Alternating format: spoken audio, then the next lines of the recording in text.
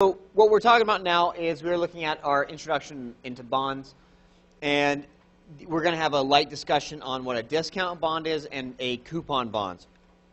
Okay, a discount bond is very similar to the things that we've done previously.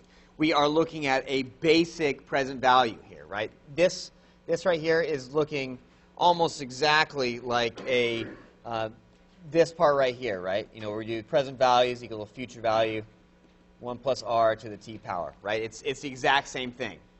That m that we're seeing there, that is the maturity value. That's the face value. Um, it, uh, that's, that's the price that you're going to get paid out when you redeem this bond. Okay, a bond, right, we know it's borrowing.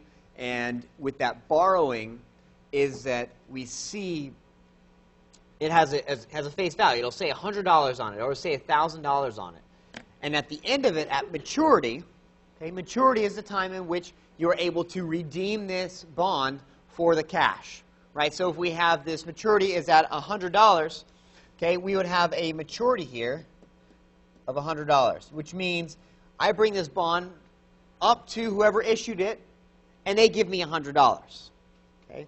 So one of these ways we look at it is we have this discount bond. Okay? And a discount bond means that there is not any intermediate interest payments that are being paid.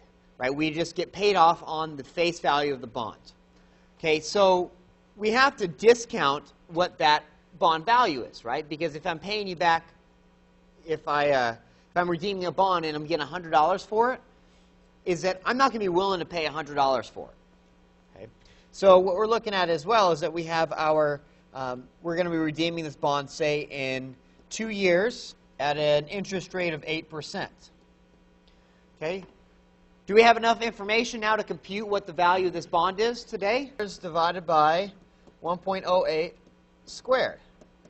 Okay? And that gives us a value of $85.73. Okay? Pretty simple, right? A perpetuity is a payments that are received forever. It's perpetual. Okay? If we come up with a present value of a perpetuity divided by r. Okay? And so this is saying that we have a we're, we are receiving this payment forever, right? And then we are discounting that back by the r. Okay? So with the perpetuity is that formula right here for when you compute an annuity.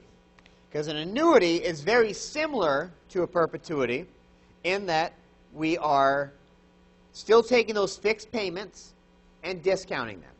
So if we multiply this through, we have that payment divided by r minus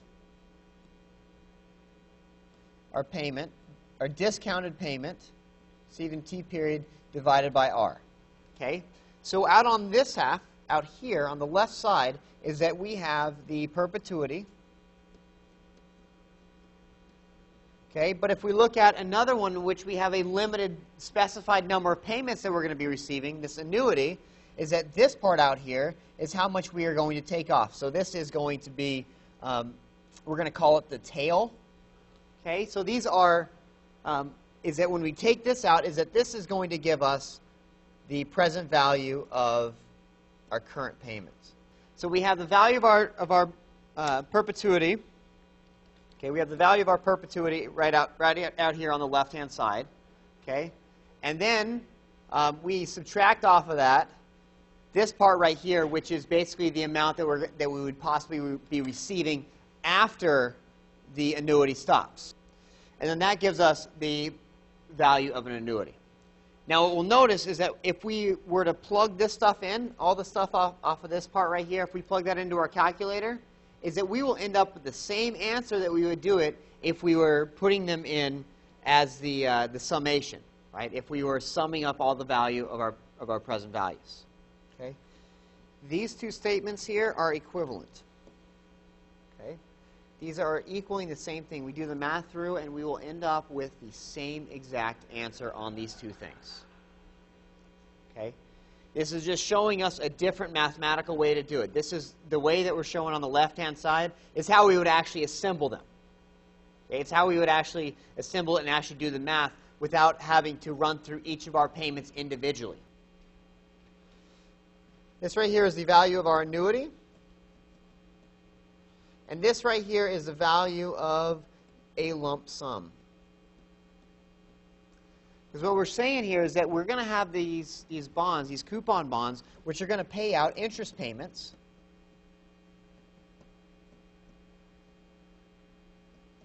Okay, they're going to pay out interest payments, and then they're also going to pay out at maturity.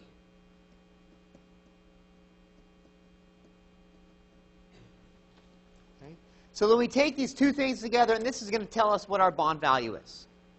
This is stuff that you've already seen before. We have on the left side, we have an annuity. On the right side, we have the lump sum. You've already seen how to do this. We're computing what the value of all these payments are we're receiving until the end of time, and then we're also computing what the value of that lump sum at the end is going to be. Um, one thing is that when we look at this here, this is our interest payment, the actual dollar amount. This is the actual dollar amount that you're receiving in your payments, and this over here is our uh, face value.